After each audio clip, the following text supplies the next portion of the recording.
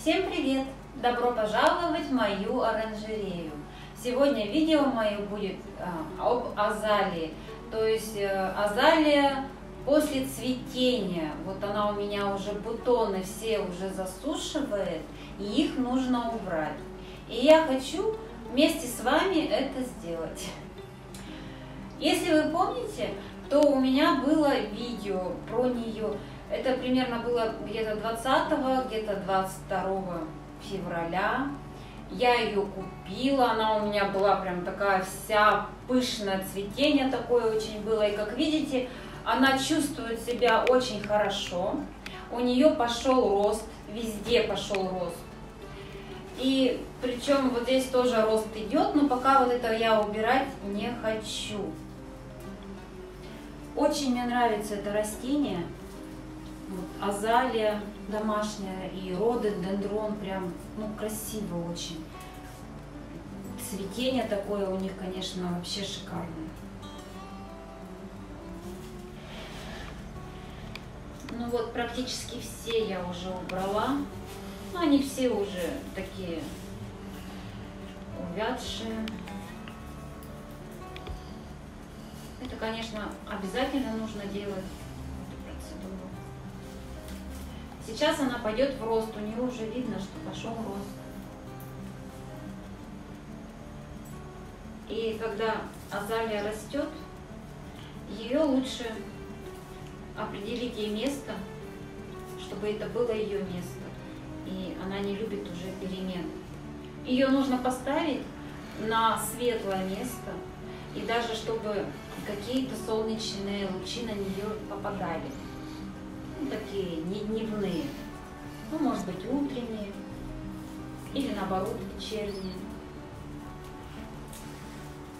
И у нее тогда пойдет очень такой рост, и она будет закладывать бутоны. Она может цвести вообще круглогодично, потому что это уже проверено мною. У меня азалии, допустим, цветут практически круглый год. Вот видите, какая у нее зелень уже наросла. Азалия очень понравилась. Скоро я ее перевалю в другой горшочек. А пока оставлю такой. Я ее поливаю в поддон, напаиваю ее. Она очень быстро впитывает. Добавляю удобрения для рододендронов и азалий. И чередую еще с соком лимона.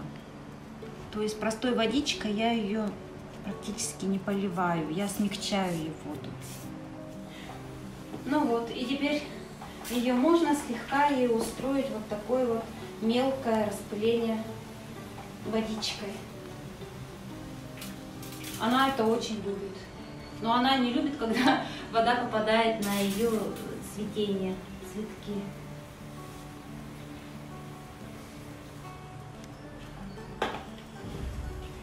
Вот такой прекрасный кустик. Очень э, хорошая такая прям вообще. И у нее даже вот старые листья все сохранились. То есть она прошла адаптирование вообще очень хорошо. То есть она сейчас будет расти прекрасно. И главное, ее не нужно ставить вот где на жаркое место. Она не любит, конечно, ее что-то нужно куда-то либо на пол убирать, но чтобы светло было. И почаще опрыскивать или поставить ее на поддон а, с мокрым керамзитом. Но так, чтобы у нее она не смогла там напиться, потому что она будет, если постоянно в воде у нее корни стоять, то будет загнивание корневой системы. И что я могу сказать? Самое главное, конечно, это сохранить ее после покупки. Это, наверное, самая такая сложная задача. А если сохранили уж, то она будет вас радовать, ну, наверное, долгие года, если вы будете правильно за ней ухаживать после покупки, чтобы сохранить растение, это не нужно сразу пересаживать. И второе, конечно, отопительные приборы. Тоже нельзя вообще рядом как-то ставить это растение. Она не терпит вообще сухого воздуха. Грунтом я как бы особо не заморачиваюсь. Я покупаю уже готовый грунт для азалии. И, конечно, я еще люблю вот сверху на горшочек ложить вот от сосны, вот, допустим, вот перепревшие такие вот ну, иголочки, да, как раз вот сейчас можно насобирать и положить. Но их, конечно, лучше обработать, чтобы там никаких этих не было живностей. Или свежую веточку просто нарезать, вот хвою, да, и вот так вот. Азалия это очень любит, мне прям нравится. И по размножению азалия, конечно, очень сложно и очень долго по времени укореняется. Это, там нужно набраться терпения, чтобы дождаться, когда она укоренится. То есть укоренение у нее проходит до, может, до полугода даже. Прям вот, чтобы она совсем вот уже укоренилась, месяцев пять точно. И не факт еще, что она и укоренится. То есть такая капризуля. И, наверное, лучше имеет смысл просто купить, чем ждать, когда она укоренится. Но если у кого есть только терпение, то, конечно, можно и укоренить. Ну вот я ее опрыскиваю, и еще, как вы увидели, я вот так вот смачиваю ей грунт. Это я делаю каждый день, то есть вот так вот. То есть я ее отпариваю через поддон, то есть она у меня напивается, а сверху я ей, конечно, увлажняю еще.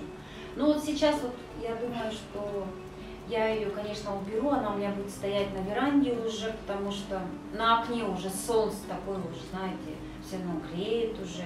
И ей это, конечно, жарковато там будет уже стоять. Но когда я ее буду, конечно, переваривать э, в другой горшочек, я, конечно же, обязательно сниму видео и покажу, как она у меня себя чувствует. Увидимся в следующем видео.